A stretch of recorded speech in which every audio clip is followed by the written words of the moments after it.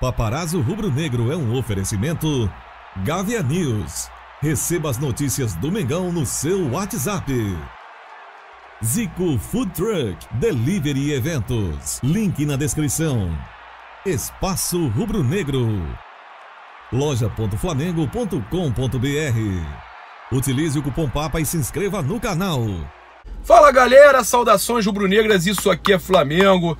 Muito bem-vindos ao canal Paparazzo Rubro Negro. Você que está chegando aí, se inscreve no canal, aciona a notificação no sininho e deixa aquele like maroto no vídeo. Então, vamos falar um pouquinho aqui de futebol, né? Voltar pro Flamengo, pro futebol. A gente tá um pouco decepcionado. Não tem nada de politicagem aqui no canal, tá certo? A minha reclamação foi exclusivamente de algumas coisas com relação a, ao Bandeira de Melo, mas eu não quero mais fazer esse tipo de reclamação por agora. Acho que a gente tem que pensar no futebol, pensar no Flamengo, tá?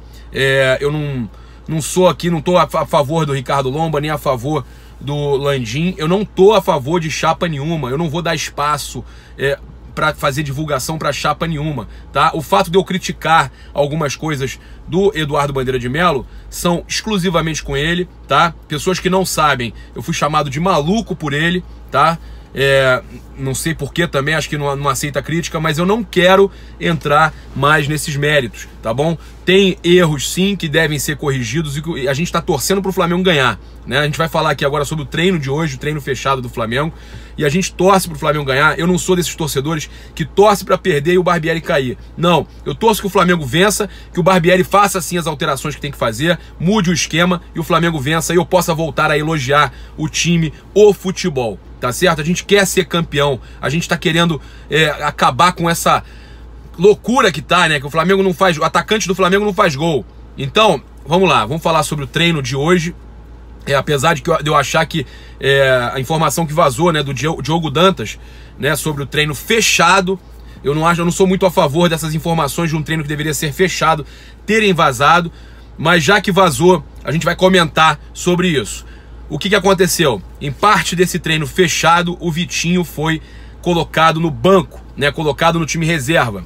E quem assumiu o lugar do Vitinho na posição ali pela esquerda foi o Matheus Sávio, tá certo? Então o Matheus Sávio, é, que já atuou daquele jeito ali no jogo contra o Botafogo, a gente ganhou de 2 a 0 com um gol do Matheus Sávio e com um excelente jogo dele, tá? Eu, vocês sabem que eu sou a favor da base, que mesmo ele sendo muito criticado e tendo sido muito, bateram muito no garoto depois daquele jogo lá com o São Lourenço, realmente ele não foi bem. É, eu acho que ele vem se, se vem lutando, vem se dedicando e eu acho que merece oportunidade sim, é da base do Flamengo, me critiquem, mas eu, eu luto pelo, pelo, pela garotada da base. Acho que o Jean Lucas é um excelente jogador também para ter novas chances. Não, acho que o Ronaldo merece novas chances também. Então a gente tá aqui, a gente não tá aqui para fazer politicagem, a gente não faz politicagem, tá? A gente tá apenas chateado, triste com o que acontece no Flamengo mas é, eu vou até explicar depois de a gente falar sobre o treino, explicar sobre a situação que teve gente me questionando sobre ah, o Flamengo ter aumentado dívida. Eu vou explicar certinho para não deixar margem de dúvida, tá, tá bom? Vamos lá. É, o Vitinho, então, sendo colocado no time reserva e o Matheus Sávio jogando na esquerda. Matheus Sávio, então, ganhando a primeira opção, que seria o Marlos Moreno, ganhando vantagem em relação ao Marlos Moreno, né, que está mais de dois anos sem marcar um gol e que não. Eu, sinceramente, mesmo sem fazer gol, eu gosto do posicionamento e do, do que o Marlon Moreno faz. Mas realmente pesa a questão de não marcar gols, né?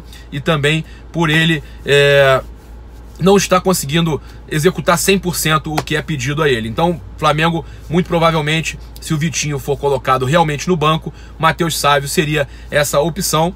E fica aí a, a, tristeza pelo momento do Vitinho, jogador contratado por 45 milhões de reais.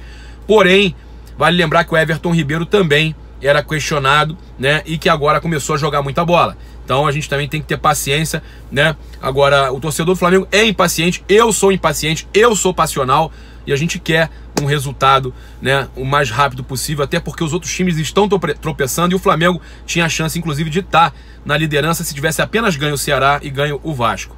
É, uma outra coisa interessante para a gente falar é sobre a questão do Abel, né? Que o Abel disse que estaria pronto para é, no caso já está no Rio de Janeiro, voltou de Paris e, e aceitaria conversar é, com o Flamengo, mudando assim de opinião. A gente já falou no vídeo mais cedo. Eu vou trazer aqui também é, informação sobre o Diego, né, que está tava fazendo um treinamento específico separado. É, o, o pessoal da, do departamento de inteligência do Flamengo, de, os fisioterapeutas e tudo mais, fazendo trabalhos, principalmente com esses jogadores que têm é, tido um maior desgaste. Né? O Flamengo teve também uma cobrança essa semana em, cima do Maurício Barbieri, até pela questão do Lucas Paquetá, né, que hoje surgiu também essa questão da proposta lá do Manchester United, saiu no jornal francês, 173 milhões, mas o, o, o Paquetá não vem agradando e muitos entendem que pode estar sendo posicionado de forma errada, então houve muita cobrança com relação a isso tudo.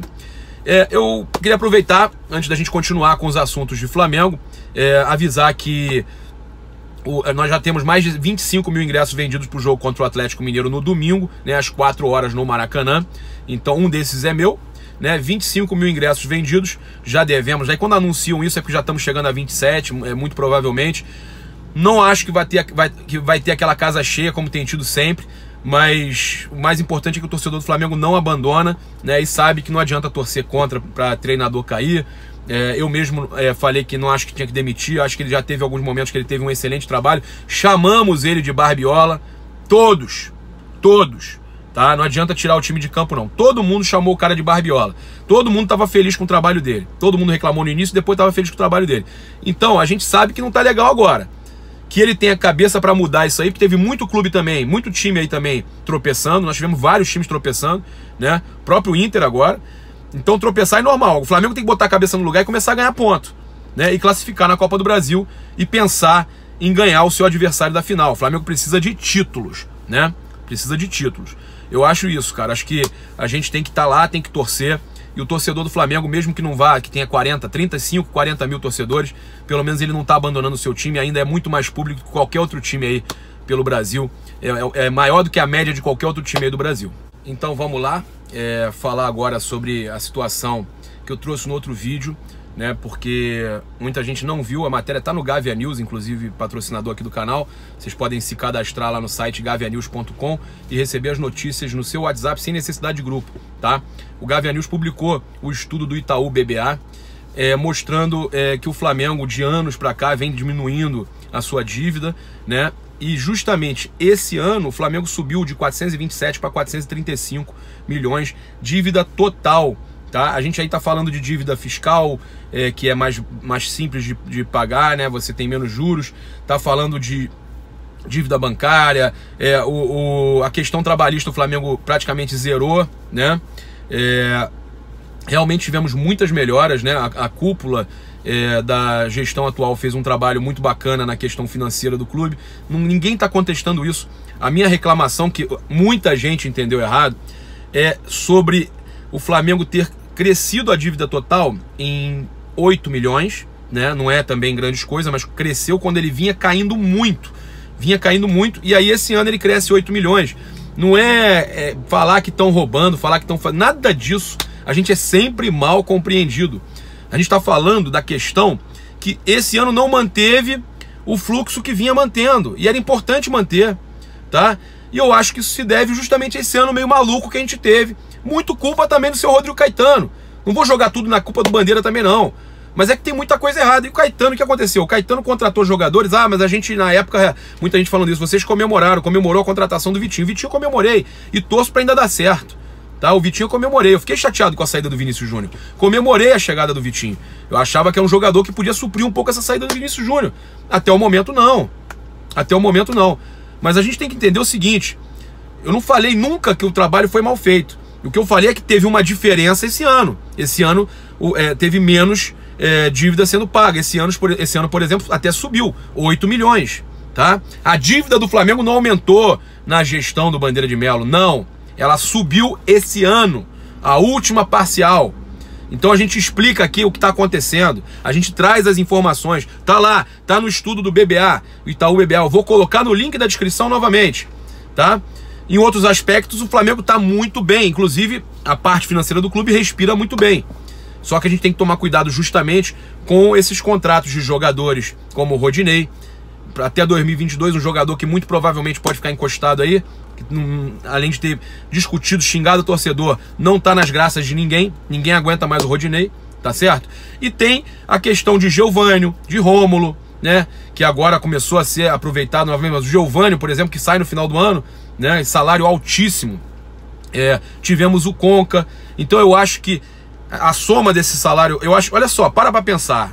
O, Giovanni 600 mil por mês, né? Só aí, é, em um ano, em um ano são são quase os 8 milhões aí, ó, 7 milhões e 200, tá certo? Então 7 milhões e 200 só de salário pro Giovanni para não jogar, para não fazer nada pelo Flamengo. É disso que a gente tá reclamando. A gente está reclamando de, de, jogadores que vieram é, para nem serem utilizados e que têm salários altíssimos, né? Como o próprio é, Rafael Vaz, que ganhava cerca de 50 mil é, no, no Vasco e chegou aqui no Flamengo ganhando 180. Então, é, é, é, essas coisas que eu acho que o Flamengo tem que ter cuidado. Ah, mas quando vem pro Flamengo já, já existe uma, uma supervalorização, não tem jeito. O cara para vir pro Flamengo já exige ganhar mais. Beleza, mas eu acho que tem que começar tomar cuidado para não supervalorizar demais esses jogadores em seus salários, tá certo? Então é, a gente está aqui também para explicar quando as pessoas entendem errado. A gente, pô, coloquei na, na no, no, comentário fixado do vídeo, vai estar tá aqui também no comentário fixado o, o link da matéria. Eu não estou inventando nada, não tem ninguém mentindo inventando nada, tá certo? Galera, então é isso. É, não deixe de utilizar o cupom PAPA nas lojas espaço rubronegro.com.br, loja.flamengo.com.br. Se você é de fora do Rio, se torne torcedor, é, no caso, sócio do Flamengo Off Rio, e você ganha automaticamente o sócio torcedor do clube. Tá lá na página do Flamengo, você procura lá é, em, na questão de sócios e tudo mais, você vai encontrar lá o sócio Off Rio. E aí é 50 e poucos reais, você tem direito a, vir 30 vezes no ano pro clube tem direito ainda a votar. Daqui a três anos você vai estar votando, né, participando ativamente da vida política do clube. E também tem direito aí a ser sócio torcedor de graça, tá incluído nesse valor, tá? Então vale muito a pena. Se você é do Rio de Janeiro, se torne sócio torcedor. O link vai estar aí na descrição para você é, acessar e se tornar sócio torcedor. É muito simples. Mostrar para vocês aí também o link que está na descrição da legoscontainers.com.br melhor empresa de construção de contêineres aí que faz os, é, os seus food trucks, faz a casa container usando painéis isotérmicos, é muito bacana. Você gasta menos de 30 mil reais para fazer a sua casa, vale muito a pena. Valeu, galera. Então se inscreve aí no canal, aciona a notificação no sininho, deixa aquele like maroto no vídeo. Saudações rubro-negras. Isso aqui é muito Flamengo. Valeu!